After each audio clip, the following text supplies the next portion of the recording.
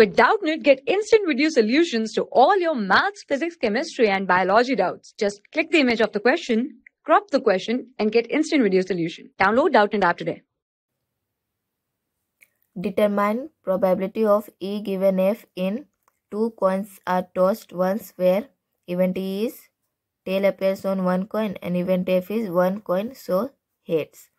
Now two coins are tossed once. So sample space will be head comma head head comma tail tail comma head and tail comma tail. Okay so these are the elements in sample space. Now in first part event e is tail appears on one coin. So it will contain elements.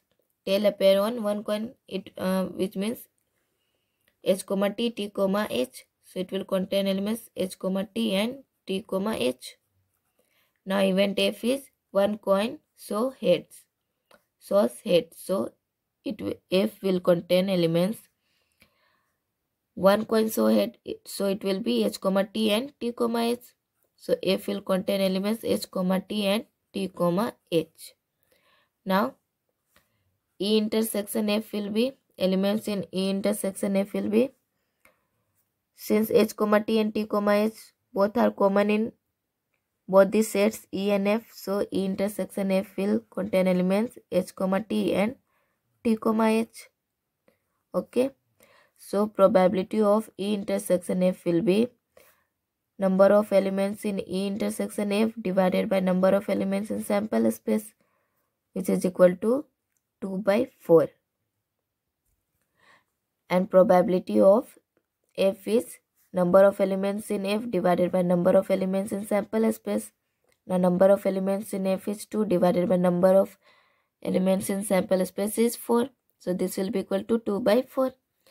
Now we have to find probability of E given F which will be equal to probability of E intersection F divided by probability of F which is equal to 2 by 4 divided by 2 by 4 which is equal to 1. So Answer of the first part is 1. Now in second part, event E is no tail appears and event F is no head appears. So event E will contain elements no tail appears. That means both the coin so heads. So E will contain elements H H. Now event F is no sorry event E is no tail appears okay so e will contains head comma head.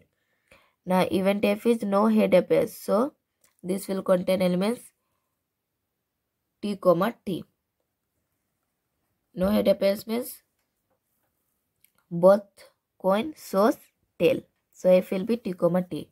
Now e intersection f will be since there are no common elements in both event e and f so e intersection f will be an empty set phi so number of elements in E intersection F is 0.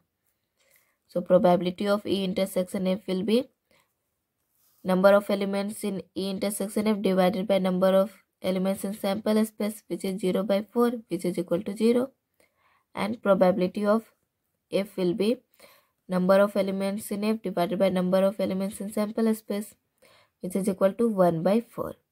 Now we have to find probability of E given F which is equal to probability of E intersection F divided by probability of F.